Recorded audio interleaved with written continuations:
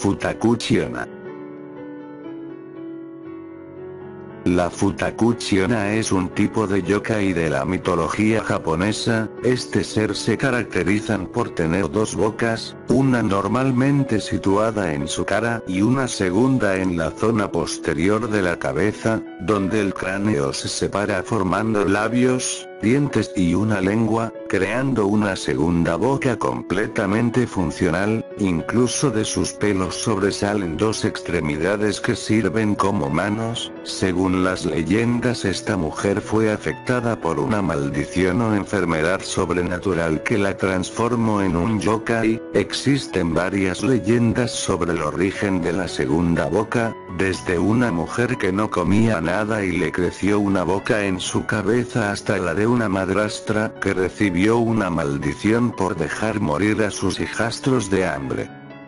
Una de las leyendas más populares sobre este ser cuenta que en un pequeño pueblo de Fukushima vivía un tacaño miserable quien, debido a que no podía permitirse pagar por la comida de una esposa, se casó con una mujer que no comía nada, como ella nunca comía y aún así era muy trabajadora, el viejo tacaño estaba extraordinariamente encantado con ella, pero por otra parte se preguntaba por qué sus almacenes de arroz disminuían constantemente, entonces un día el hombre pretendió salir a trabajar, pero en vez de eso se quedó a espiar a su nueva esposa, escondiéndose en el almacén de arroz, entonces para su temor, vio que en la parte trasera de la cabeza de la esposa, su cráneo se abría ampliamente revelando una boca enorme, la esposa se desató el pelo, que llegaron como tentáculos a agarrar el arroz y desplazarlo a puñados a la boca hambrienta, el avaro estaba atemorizado y se dispuso a